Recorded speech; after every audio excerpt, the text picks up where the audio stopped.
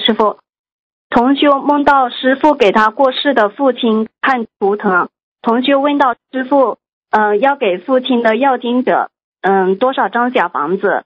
师傅说不要了，不要念了，救不了的。现实中，这位同修给过世的父亲念过小房子，嗯，请师傅慈悲解梦，是不是？啊嗯，，就是念不了的意思，就是这再怎么念，再怎么念，这个人也超度不到天上，嗯，好的，感恩师傅。最多投人了，嗯，那，嗯，这位同学还要给父亲念小房子吗？随缘吧，